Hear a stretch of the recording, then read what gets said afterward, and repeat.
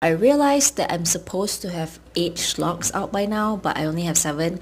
So for day 8 of 30 schlogs, let's travel back in time. What do you have in your possession that most people these days might not have? This is mine.